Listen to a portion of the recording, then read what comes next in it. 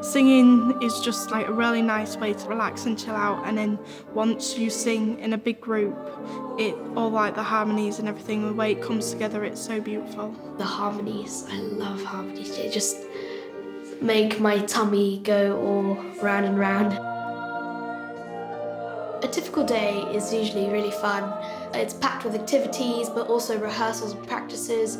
We do a range from church music to pop music.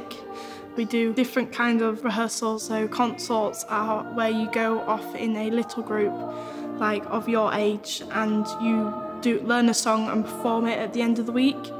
And then sectionals is where you go off in your part and you learn bits of the songs that you're not really quite confident with yet it doesn't matter at what stage you are. If you are new to everything, all the experienced and inexperienced people are all put together and you learn from each other. So the older ones help the younger ones because we're more experienced with like the different like languages and um, how to read music. And even if you think, oh, I can't do this, I can't do that, the teachers are so friendly with you. If you ever get stuck, uh, just give them a wave and they'll come help you.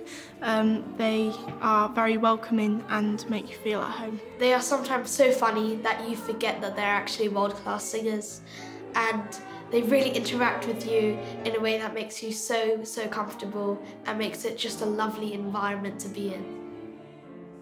My advice is to anyone who wants to join the course, it is an experience of a lifetime and you find friends along the way, sometimes friends for life, and the teachers and music is exceptional.